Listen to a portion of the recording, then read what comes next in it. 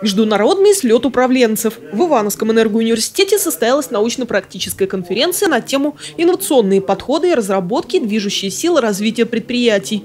Участники – члены Международного клуба директоров, известные российские ученые, руководители крупных производств машиностроения, энергетики, оборонной сферы. В Иванове заседание клуба проходит впервые. Как в любое сложное время, основная проблема всегда является кризисом идей на самом деле. Да? Потому что из любой ситуации выход можно находить, э, проекты можно делать.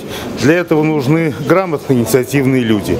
И с этой точки зрения очень важно э, не замкнуться внутри нашего региона. Поэтому я э, вот это вот заседание, от него прежде всего жду обмена мыслями, идеями, мнениями, которые можно применить на территории региона. В своем вступительном слове губернатор рассказал о направлениях производственной деятельности региона. На сегодняшний момент это в первую очередь текстиль, а затем машиностроение.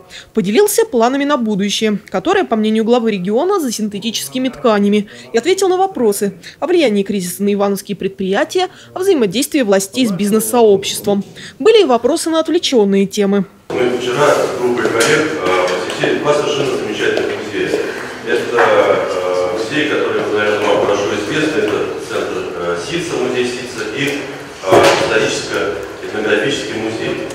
Оба этих музея оставили, оставил нам наследство, выдающийся, я считаю, и коллеги, я полагаю, со мной согласятся, уроженец Ивановской земли Дмитрий Бурлин.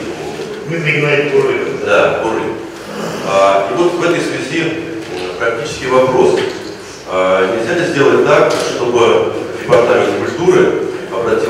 на то простое обстоятельство, что крыша в отдельных местах музея протекает? Нет у нас возможности очень большие средства э, вкладывать, в том числе в культуру. Основная направленность трат бюджета – все-таки социальная сфера образования и медицина. Обязательно посмотрим. Это расходы областного бюджета и наше обязательство.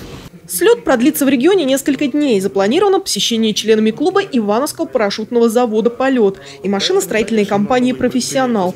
Эти предприятия будут представлены как образцовые и не должны подмочить репутацию региона.